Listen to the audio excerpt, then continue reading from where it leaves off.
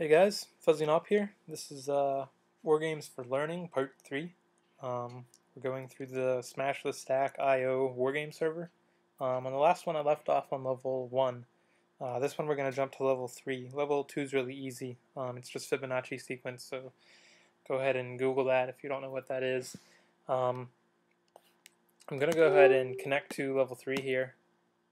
And I don't know, if you don't want to do the first two and you want to start with this video, I don't know, leave a comment, let me know. I'll email you the password if you really want it, but I'm not gonna I'm not gonna post it.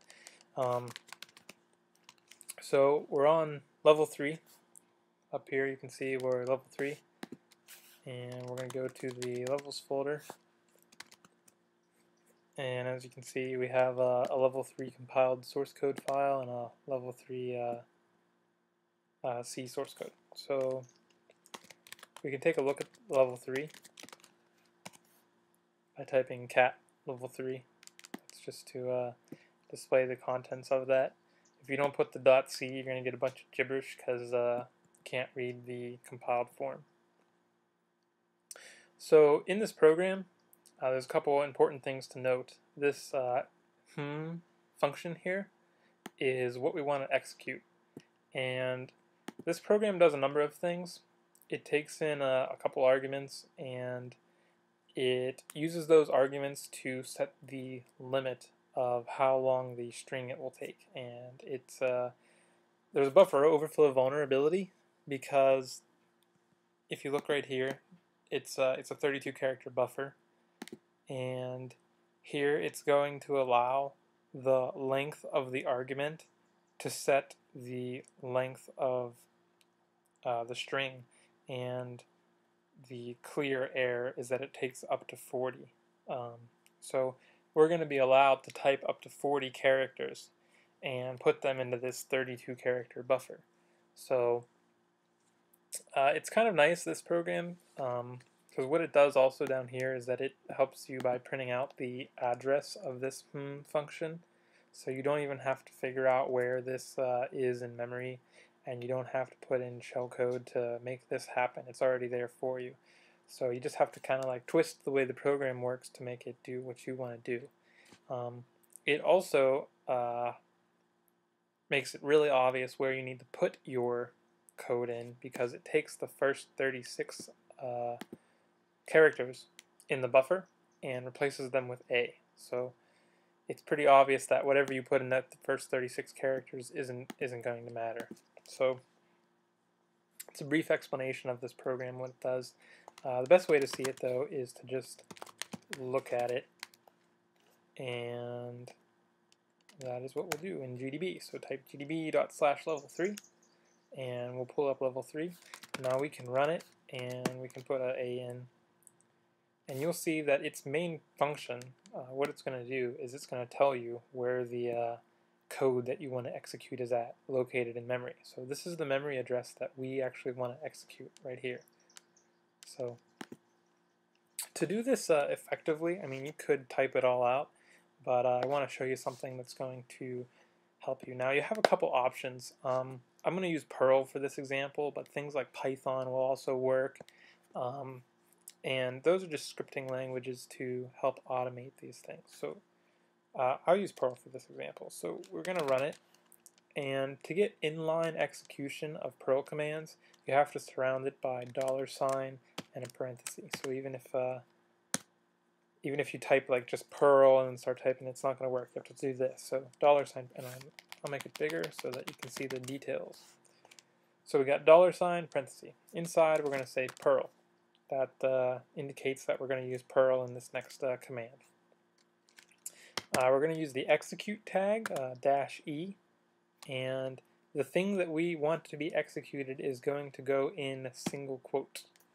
So in the single quote, the command we want is print, and what we want to print is, we'll say A times 40, okay? Now we will end the single quote. I think we need to put a semicolon in there too. That may be wrong, but don't worry about it. It'll still work. Okay, so you see now, instead of um, instead of printing out the memory address, the program crashes and it gives us a segmentation fault, meaning it was trying to execute some memory that it's not allowed to do. And it says like, you know, hey, where's this address? It has no idea what's going on here. So the address it tried to execute was 4141414141. And you can see um, that 41, right, is, is the letter A in ASCII. So we already know that by typing in A, 40 A's, that we got it to execute something that we typed in. Um, it's a pretty big hint that it replaces the first 36 characters with A, that those first 36 characters are not useful. So it's probably the last four characters that are useful. So let's just confirm that. Let's put 36 A's. We know it's going to get replaced with A's anyways. And after that, um, we'll use a period to concatenate more stuff into the string. So it's a space, period, space. Let's go ahead and throw a B in there times 4. Okay, so we're still at 40 characters. First 36 are A's, first 4 are B's. We're just making sure that it's actually executing those last four uh, bytes. And what we get back is segfault 42, 42, 42, 42. And what that is is our four B's that we put in there. Okay, so uh, you can see how you can use Perl to automate a little bit of this. And this program gives you the, you know, the prize right here. So you need to take, uh, you need to think about this and how to take this and put it into the command here to get it to execute that. Now there's an important thing to note that I want to show you. Um, two things is here's here's how you sort of giving away the answer. Here's how you put hex code directly into uh, Perl. You use a backslash and you use the letter X to denote hex. And you need two characters. Um, and for this, I'm going to just type 01 hex 02 hex 03 hex 04. Okay, so here's four hex bytes that I'm putting in. Now there's something really important that's going to happen that you will need to uh, take note of if you want to get this working. Is that when it tries to execute, it didn't execute 01020304. Instead, it executed a memory address called 04030201. Hmm, pretty interesting, huh?